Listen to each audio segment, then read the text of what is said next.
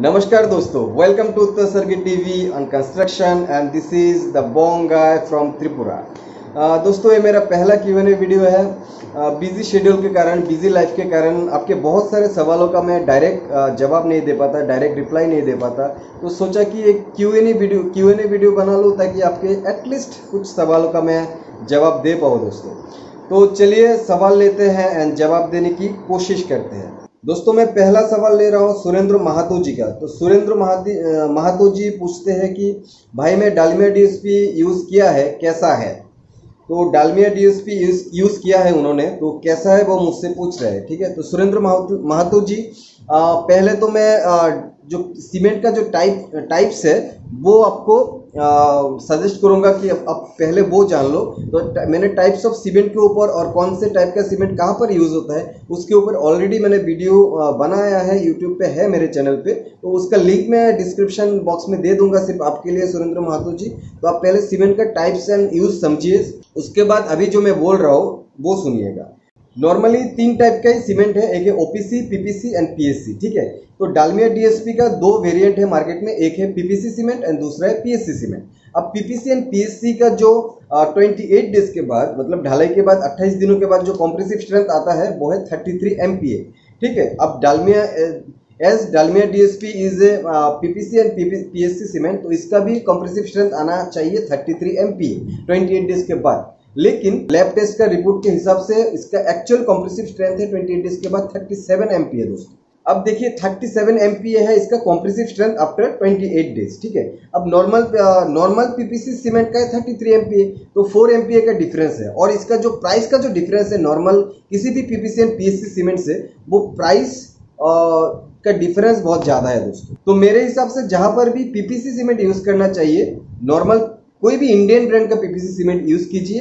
और अगर जहाँ पर स्ट्रेंथ की बात आती है आ, मतलब कास्टिंग की बात आती है तो वहाँ पर आप ओपीसी सीमेंट यूज़ कीजिए दोस्तों। पीपीसी पीएससी सीमेंट मत यूज़ कीजिए।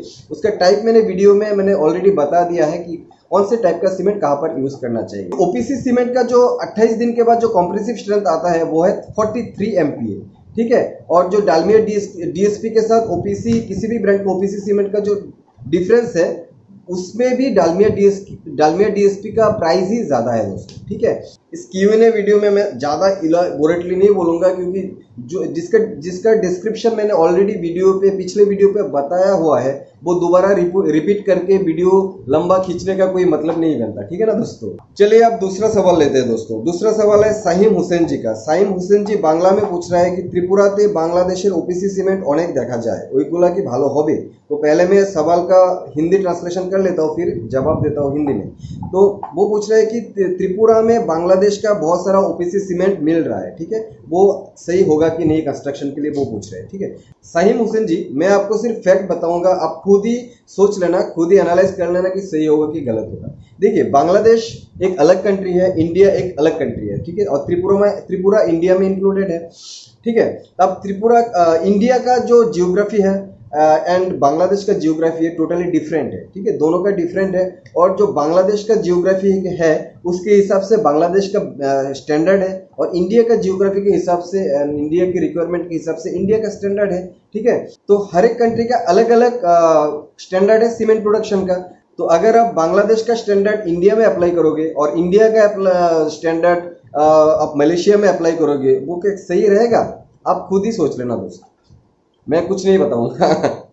अच्छा आप तीसरा सवाल लेता हूँ पलाश मजुमदार जी का। वो भी बांग्ला में पूछ रहे हैं दादा रूफ स्लेबर जो की सीमेंट की सीमेंट यूज़ करब? सजेस्ट मी उथ ब्रैंड नेम हमें भेवेल डालमिया डीएसपी देव बट अपनार भिडियो देखे टेंशन हो तो पलाश मजुमदार जी बांग्ला में पूछ रहे हैं कि आ, दादा मैं रूफ स्लेब के लिए आ, कौन सा सीमेंट यूज़ करूँ? और मैं सोच रहा था डालमिया डीएसपी यूज़ करूँगा, लेकिन आपका वीडियो देखने के बाद मैं टेंशन में पड़ गया, ठीक है? कॉन्फ्यूशन में पड़ गया। तो पौलाश मोजुमदर जी, मैं आपको भी वही चीज़ बताऊँगा कि जो सीमेंट का जो टाइप्स है एंड यूज़ है, उसके ऊपर मेरा वीडियो है, आप देख लेना, ठीक है? उसमें इलेबोरेटली मैंने बताया है कि कौन से कौन से काम के लिए कौन सा सीमेंट यूज़ करना चाहिए ब्रिकवर के लिए कौन सा रूप बीम, कॉलम, फाउंडेशन के लिए कौन सा सीमेंट यूज़ करना चाहिए, वो आप देख लेना।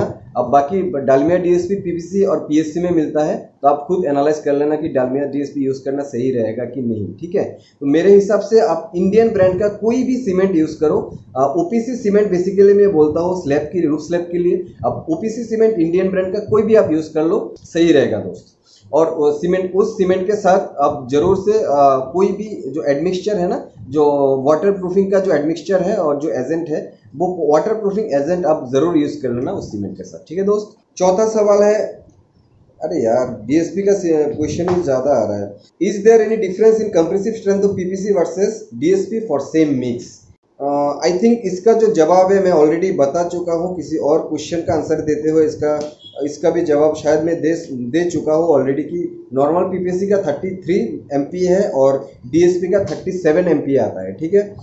और जो, वो जो एडवर्टाइज करते हैं कि वो है 50 हवा 50 प्लस एमपी स्ट्रेंथ आता है, वो गलत है दोस्त। पांचवा नॉर्मल सा सवाल है नूब्स अड्डा का। तो वो पूछ रहे हैं कि, सर टीएमटी प्राइस जो है, वो टीएमटी बार पीस का है या केजी का है? तो दोस्त, देखिए यहाँ पर टीएमटी बार जो है कुछ कुछ जो ब्रांड है, वो पीस के हिसाब से जो प्राइस बताते हैं और कुछ कुछ जो ब्रांड है, वो केजी के हिसाब से बता है, बताते हैं। जैसे कि जो भी प्राइमरी प्रोड्यूसर है इंडिया में प्राइमरी प्रोड्यूसर मतलब जो पूरे इंडिया में ज़्यादा रॉड प्रोडक्शन करते हैं, ज़्यादा रॉड सप्लाई देते हैं, वो प्राइमरी प्रोड्यूसर तो और जो सेकेंडरी प्रोड्यूसर है, वो लोकल एरिया में देते हैं, ज़्यादा पूरे इंडिया में उनका जो नेटवर्क नहीं है। सेकेंडरी प्रोड्यूसर है छोटे मोटे कंपनी जो लोकल एरिया में ही लिमिटेड है, वो ज़्यादातर के के हिसाब से प्राइस बताते हैं। ठीक है दोस्त? अगला सवाल पूछ रहे गुलू बाबू। गुलू बाबू बोल रहे हैं, भाई ओपीसी नहीं मिल रहा है। तो भाई, मैं क्या करूँ? ओपीसी नहीं मिल रहा है, मैं क्या ओपीसी का प्रोडक्शन करता हूँ? ओके भाई, जोक से पट अगर आपको ओपीसी सीमेंट जो है ना वो मार्केट में अभी प्रोडक्शन बहुत सारी जगह पर आ, कम ही मिल रहा है क्योंकि पीपीसी सीमेंट का ज़्यादा मार्केटिंग हो रहा है फ़िलहाल के मार्केट में। तो पीपीसी सीमेंट का मार्केटिंग होने के कारण से आपको पीपीसी सीमेंट ज़्यादा मिलेंगे ठीक है? और पीपीसी का कॉस्ट ओपीसी से थोड़ा कम है। तो पीपीसी अगर और जो ओपीसी का जो कंप्रेसिव स्ट्रेंथ है वो पीपीसी से नहीं आता है ओपीसी का कंप्रेसिव स्ट्रेंथ है 43 three M P and PPC PPC का है 33 एमपी ठीक है तो अब ढलाई का काम ओपीसी से ही करवाना सही रहता है पीपीसी से नहीं ठीक है दोस्त तो अब देखिए ओपीसी सीमेंट आपको नहीं मिल रहा है तो आप क्या करेंगे जो पीपीसी सीमेंट है पीपीसी सीमेंट का जो मिक्सचिंग है मिक्सचिंग में सीमेंट कंटेंट थोड़ा ज़्यादा डाल देंगे, ठीक है? पीपीसी सीमेंट में around 65 percent cement clinker use होता है कैल्शियम ऑक्साइड है, और ओपीसी में 95 परसेंट अराउंड यूज़ होता है, ठीक है? तो अब पीपीसी का सीमेंट कंटेंट थोड़ा इंक्रीज कर देंगे तो उस 28 डेज़ के बाद जो स्ट्रेंथ आएगा तो वो लगभग ओपीसी के इक्वली हो जाएगा, ठीक है? तो आप पीपीसी का सीमेंट कंटेंट थोड़ा इंक्रीज कर देना अगर आपको ओपीसी नहीं मिल रहा है, ठीक है दोस्त? अगला जो सवाल है, वो बहुत सारे दोस्तों ने पूछा है, ठीक है? तो वो आ, वो सवाल है कि 162 से ही डिवाइड क्यों होता है? ठीक है वो पूछा है कन्फ्यूशन इज़ ग्रेट एक चैनल ने रिपोन एसके ने और अरुण कुमार कौर ने पूछा है ठीक है? और बहुत सारे लोगों ने पूछा है। तो 162 से डिवाइड क्यों होता है? तो ये 162 क्या है? तो मैं, दोस्तों, मैंने एक वीडियो बनाया था जो जो लोग ये क्वेश्चन कर रहे हैं तो उनको तो पता ही है कि 162 मतलब क्या है, और जिनको नहीं पता है तो एक मेरा वीडियो है कि आप जो रॉड का जो केजी जो निकालते हैं ना पर मीटर के हिसाब से केजी निकालते हैं, या फिर पूरे रॉड का जो साइज़ है, उस हिसाब से जो, उसका केजी क्या है? ठीक है, उसका मतलब वेट क्या है रॉड का, वो कैसे निकालते हैं तो उसका फॉर्मूला है डी स्क्वायर बाई वन जिसमें डी है डायमीटर ऑफ़ द रॉड मतलब अगर ये रॉड है, समझ लो ये रॉड है तो ये ये जो है ना, ये जो क्रॉस सेक्शन है ना, वो क्रॉस सेक्शन का जो डायमीटर है, वो तो सर्कुलर क्रॉस सेक्शन है तो इसका डायमीटर है डी तो डी स्क्वायर बाई वन होता है, एक मीटर का जो वेट है, वो होता है, ठीक है? अब 162 और इसको आप 12 से मल्टीप्लाई करेंगे तो पूरे रॉड का, एक रॉड का लेंथ है 12 मीटर तो पूरे रॉड का वेट निकल जाता है, ठीक है? तो 162 से ही क्यों डिवाइड होता है? एक्चुअली अब देखिए इसका कैलकुलेशन इस साइड पे मैं दिखा दूँगा। ठीक है, आप कैलकुलेशन देख लेना। तो जैसे कि हमको एक फॉर्मूला पता है कि D equal to M by V मतलब density equal to mass by volume आप मास को वेट भी बोल सकते हैं। Density equal to weight by volume तो आपको किसी भी चीज़ का वेट निकालना है तो डेंसिटी को वॉल्यूम से मल्टीप्लाई करना पड़ेगा। तो डेंसिटी से वॉल्यूम वॉल्यूम को मल्टीप्लाई करेंगे। आप वॉल्यूम क्या होगा?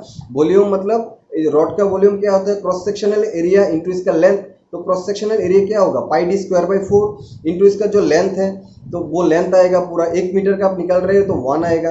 ठीक है? तो आपको वॉल्यूम पता चल चल गया इसका।